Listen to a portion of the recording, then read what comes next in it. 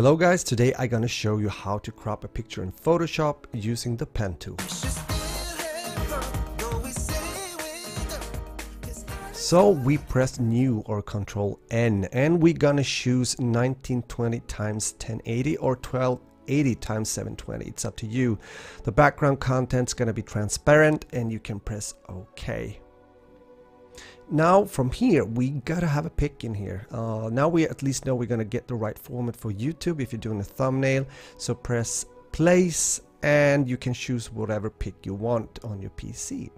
Now this is not the right format so I need to bring it up a bit. Hold down shift when you're doing this and if you're dragging the picture in the corners making it bigger otherwise you will mess up the aspect ratio and it's to look quite weird. So make sure you do that. Now we're placing the pic and just pressing right here okay and I think we're good to go. But before we do that I want to tweak the picture a bit. So I'm gonna choose contrast like the auto function between brightness and contrast and just tweak it a bit and then we're gonna close. We're also gonna fix the colors a bit so I'm getting into here and just increasing the saturation a bit bringing out the redness in the picture but also here I want to take out the character when it comes to the icy part of the picture, meaning the blue colors. So vibrance is my choice for the day. Also a bit of the saturation right here. And then we're closing it.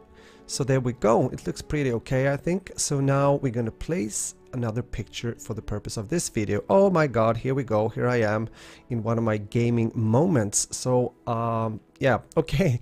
First of all, I want us to go in a bit closer when we're to use the pen tool in order to make a good job. The pen tool is here, by the way. Uh, so we're to, you know, make the picture a bit bigger or larger. Uh, I think that's very important. Otherwise, it's going to be hard to make it right. So we press here. We're going to press two times on the left mouse click. I think this is usually what I do when I'm using the pen tool. Uh, choose the pen tool and make your first click in the far left corner and then you just click like this and after a while you will get the hang of it so don't you worry. In the beginning it can be a bit tricky and you will make mistakes. I still do them and therefore I will show what you can do if you actually start to press at the wrong place on your picture like this. Bam not too good right? So you go up to edit and you choose undo new anchor point or you can also step backwards so this is a very good thing to do and from now on you're just gonna click around the picture like this. When you come to the part with the hair that can be a bit tricky. You have to make some decisions right there. I have a small kind of technique or tweaking technique you might say when it comes to fixing the hair later on when you're using the pen tool as I'm doing here. But we're gonna wait with that and we just have to finish the clicking part with the pen tool before we get into that. Again, this is quite time consuming, but I think it's worth it if you really want to make it look good. Uh, I guess that's why we're doing this. So continue to be cautious and try to follow the outline of the picture that you want to use. And uh, again, as I told you, if you make a mistake, don't you worry. You just step backward or do what I just did before and you're going to be just fine.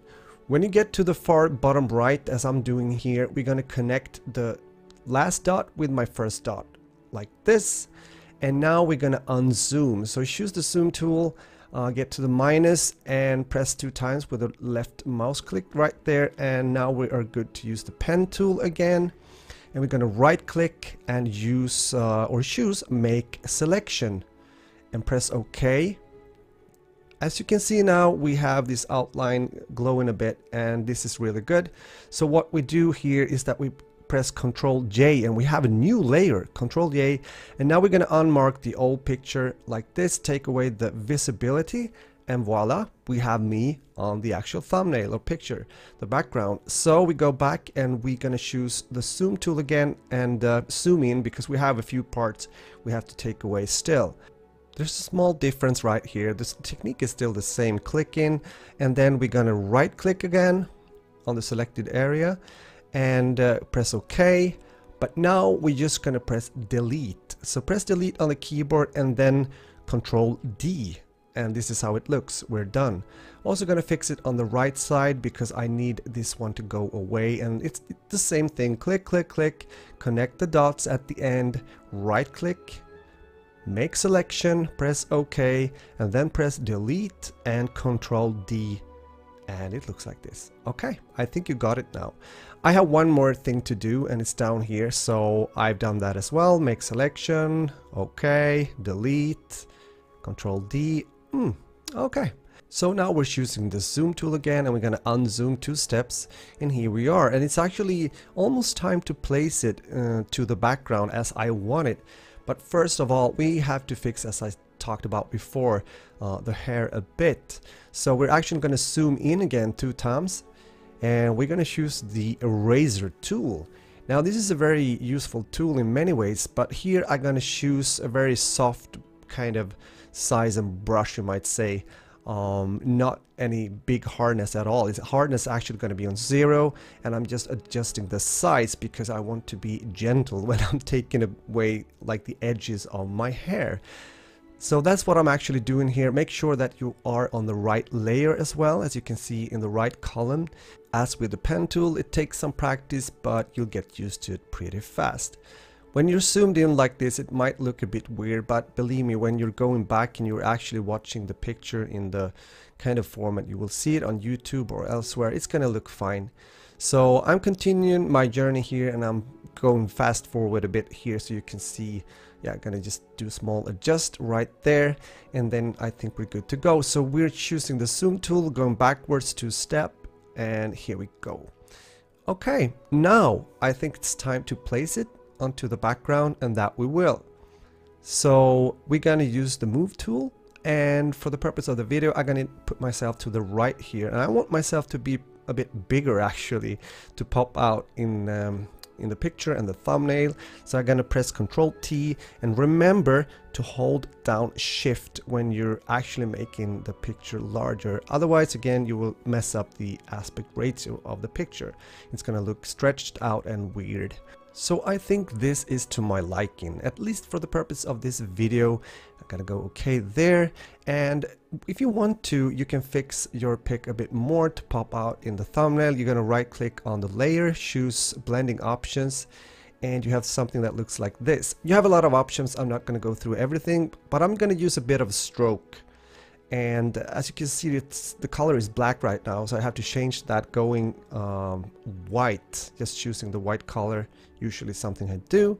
Be a bit careful though. As you can see on the top of my head it becomes a bit bigger right here because I've just used the eraser tool on that layer. So I'm bringing it down to one and also just taking down the opacity actually a bit. It's up to you. Uh, again this is a question of taste and what you want to do. Then I go into outer glow fixing the color to white. And I have 100% opacity bringing down spread but up the size. Something yeah like this when I'm done with that, I'm going to choose something that is called drop shadow and you can use that in many ways also on text. But for now, uh, we're using uh, here on the pic, I'm bringing the opacity up, the distance down, the spread down to zero, but I'm bringing up the size a bit. And as you can see, this is one way of putting like an accent on your picture, uh, meaning me in this case. So you can play around with that a bit. And when you've found a way or a look, just press OK that you like. And now, if you want to, if you have like a watermark or something that you use on your thumbnails or and videos, you can place it and I think you are good to go. Make sure to save. You can save the project. You can also save it as a JPEG if you want to upload it on YouTube, for example. And guys, this is it. Uh, this is just one way of doing it. I hope you enjoyed the video. Thumbs up if you did, leave a comment. Also share the video for others to see, maybe we can learn from each other, I hope so. It's nice to share information here on YouTube. People, take care, thanks for watching, bye bye.